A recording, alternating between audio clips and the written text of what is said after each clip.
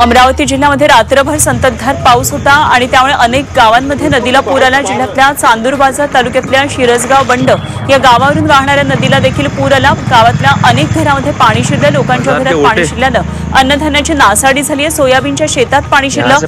अनेक हेक्टर सोयाबीनचं शेत आता पाण्याखाली गेली आहेत